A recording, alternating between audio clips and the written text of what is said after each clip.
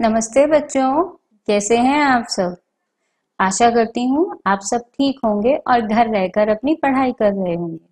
बच्चों, पिछले पार्ट में हमने बात की थी आपकी पोयम वॉकिंग विद ग्रैंड की। आज हम करेंगे उसकी exercise grammar read the following sentences and notice the words in bold bold मतलब बड़ा, जो यहाँ पर ब्लैक किया हुआ है, इसको हमने नोट करना है। जैसे फ़र्स्ट सेंटेंस में है Aryan ate an apple Aryan ने एक सेब खाया।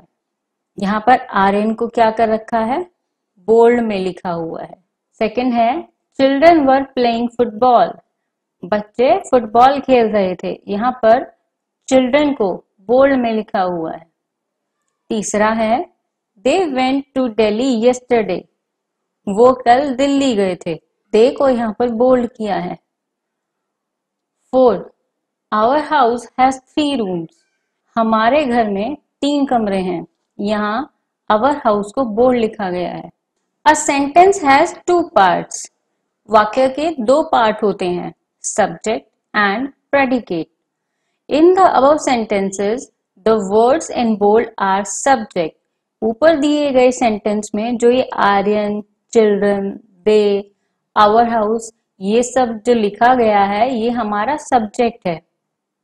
The subject is the thing और person that the sentence is about जिसके बारे में बात की जाती है, वो हमारा सब्जेक्ट होता है। It can consist of one word और मोर देन वन वर्ड ये एक वर्ड भी हो सकता है और एक से ज़्यादा वर्ड भी हो सकते हैं। The predicate is the rest of the sentence और प्रेडिकेट बाकी बचा हुआ पार्ट होता है सेंटेंस का। जैसे, आर्यन एट एन एप्पल। यहाँ पर आर्यन हमारा क्या है? सब्जेक्ट है। और एट एन एप्पल हमारा क्या है? प्रेडिकेट है। ऐसे ही children were playing football children subject है वर प्लेइंग फुटबॉल प्रेडिकेट है। They went to Delhi yesterday they हमारा सब्जेक्ट है और वेन टू डेली यस्टरडे हमारा प्रेडिकेट है। ऐसे ही our house has three rooms किसके बारे में बात की गई है? हाउस के बारे में बात की गई है। तो आवर हाउस हमारा सब्जेक्ट है। हैज़ थ्री रूम्स हमारा प्रेडिकेट है। आगे आपको क्या करना है? सर्कल द सब्जेक्ट सब्जेक्ट को आपको सर्कल करना है। And underline the predicate in each sentence given below predicate को आपको अंडरलाइन करना है। जैसे ग्रैंडफादर वॉक्स स्लोली यहाँ ग्रैंडफादर हमारा सब्जेक्ट है तो हम इसको सर्कल करेंगे और वॉक्स स्लोली हमारा प्रेडिकेट है तो इसको हम अंडरलाइन करेंगे. सेकेंड सेंटेंस में she sang a beautiful song किसने गाया ब्यूटीफुल सॉन्ग लड़की ने. शी शी हमारा सब्जेक्ट है और सैंग अ ब्यूटीफुल सॉन्ग एक प्रेडिकेट है. Third Geeta speaks English fluently यहाँ गीता हमारा सब्जेक्ट है तो इसको हम सर्कल करेंगे और स्पीक्स इंग्लिश फ्लुएंटली को हम अंडरलाइन करेंगे क्योंकि ये हमारा प्रेडिकेट है। ऐसे ही फोर्थ में our garage is very big यहाँ पर किसके बारे में बात हो रही है? गैरेज के बारे में। तो अवर गैरेज होगा हमारा सब्जेक्ट जिसको हम सर्कल करेंगे और इज़ वेरी बिग होगा हमारा प्रेडिकेट जिसको हम अंडरलाइन करेंगे। आगे चलते हैं फिफ्थ नंबर पे। A large crowd greeted him at the airport. किसके बारे में बात हो रही है? क्राउड के बारे में। तो अ लार्ज क्राउड हमारा सब्जेक्ट है and greeted him at the airport हमारा प्रेडिकेट है। इसको हम अंडरलाइन करेंगे। चलिए आइए एक प्यारी सी पोयम पढ़ते हैं। गुड मैनर्स गुड मैनर्स होते हैं, अच्छी आदतें।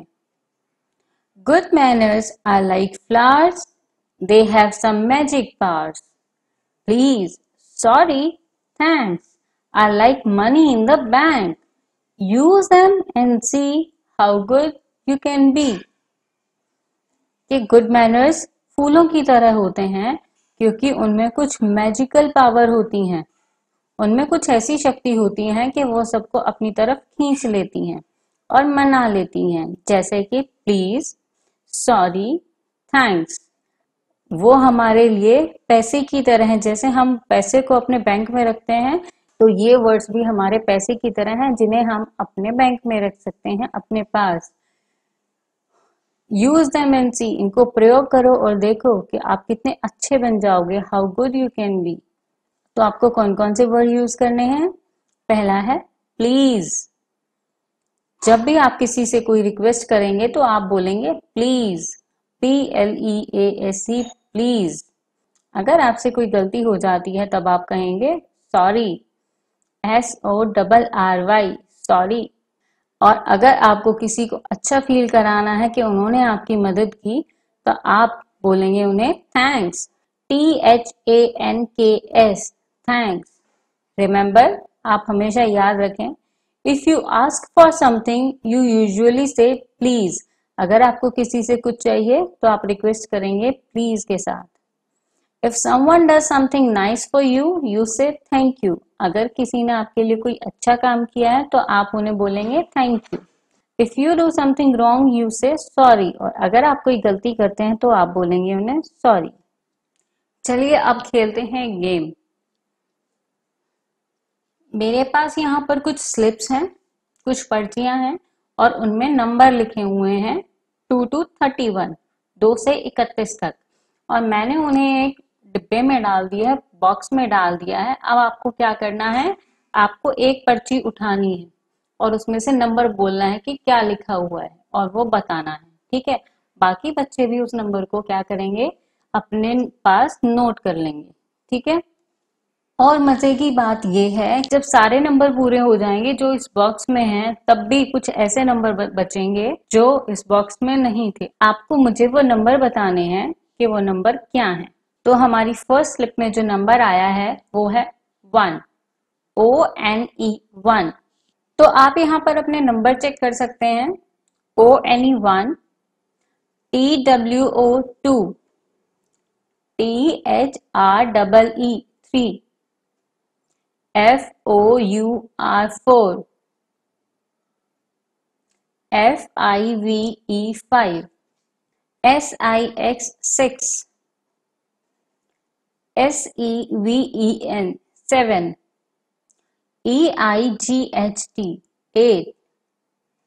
N I N E nine. T E N ten. E L E V E N eleven T W E L B E 12 T H I R T W N 13 F O U R T W N 14 F I F T W N 15 S I X T W N 16 S E V E N T W N 17 E I G H T W N 18 N I N E T W N 19 T W E N T Y 20 21 T W E N T Y 20 O N E 1 21 T W E N T Y 20 T W O 2 22 T-W-E-N-T-Y 20 T-H-R-E-E. 3 T-W-E-N-T-Y 20 F-O-U-R 4 24 T-W-E-N-T-Y 20 F-I-V-E 5 25 T-W-E-N-T-Y S-I-X 6 26 T-W-E-N-T-Y S-E-V-E-N 27 T W E N T Y T I G H T twenty eight T W E N T Y N I N E nine twenty nine T H I R T Y thirty T H I R T Y thirty O N U one thirty one अब जो हमारे numbers बच गए थे, वो हैं thirty two thirty three thirty four thirty five it's all for today आज के लिए बस इतना ही। आई होप आप सबको समझ आ गया होगा। आगे भी ऐसी ही वीडियोस द्वारा अपनी पढ़ाई जारी रखने के लिए आप हमारे चैनल को सब्सक्राइब थैंक यू